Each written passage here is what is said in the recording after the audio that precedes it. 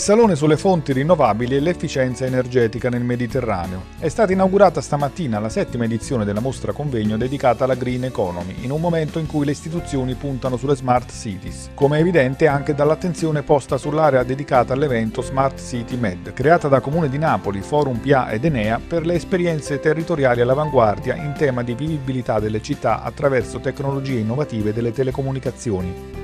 puntiamo tantissimo sulla città sostenibile, la città smart.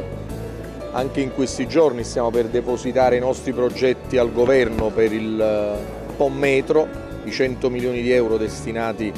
alla città e alle città del sud che si aggiungono ai fondi strutturali, quindi Napoli che si candida sempre di più a essere una città smart, una città ecosostenibile, una città che vuole puntare anche sulle biciclette elettriche, sulle macchine elettriche, tutto ciò che è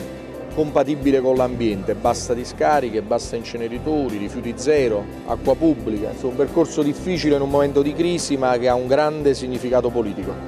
È intervenuto anche il ministro dell'Ambiente Galletti per aprire una rassegna che vede tre aree espositive, incentrate sull'efficienza energetica, sulla mobilità sostenibile e sul riciclo, ed ancora il Salone della responsabilità sociale condivisa e quello del packaging sostenibile, ed il primo meeting italiano del progetto europeo sull'energia solare. 10.000 metri quadrati per il principale appuntamento dell'energia pulita nel Mezzogiorno e dell'intera area del Mediterraneo.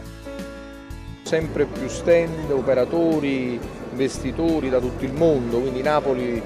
città strategica del Mediterraneo, città che ha sposato la ecosostenibilità, che è una smart city, lo vuole essere sempre di più, ci vogliamo far trovare pronti, all'altezza, curiosi di imparare ma decisi ad andare in una strada di grande cambiamento dal punto di vista del rispetto della natura, dell'ambiente, del clima, della terra.